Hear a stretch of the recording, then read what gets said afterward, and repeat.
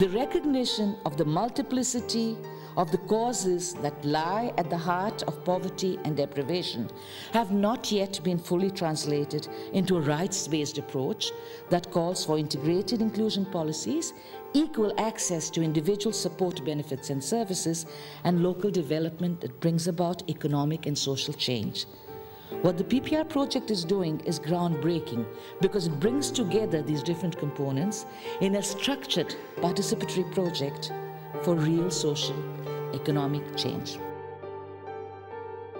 Throughout the summer of 2008, more residents began to take part in the residents' jury. They deliberated on the evidence they had heard in order to make recommendations on how the Girdwood regeneration process should move forward. On the 30th of October 2008, the jury will release their recommendations. They will select human rights indicators to measure if government is fulfilling residents' human rights through the Girdwood regeneration. These indicators will be monitored by residents and communities over the course of the regeneration. This regeneration process will last 10 to 15 years.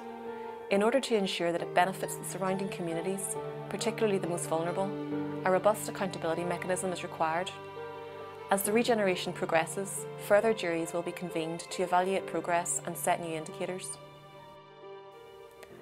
The Girdwood Barracks and Crumlin Road Gaol site has the potential to finally address the long-standing absence of rights experienced in these communities. Residents are determined that their voices will not only be heard, but will shape government decisions which affect their lives.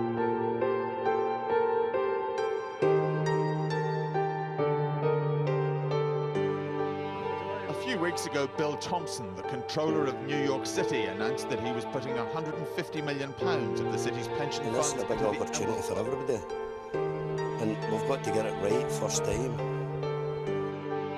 And the lesson from everyone coming from the international human rights experts to the world-renowned community development experts is if you don't involve local people and you don't listen to them, it will be a disaster.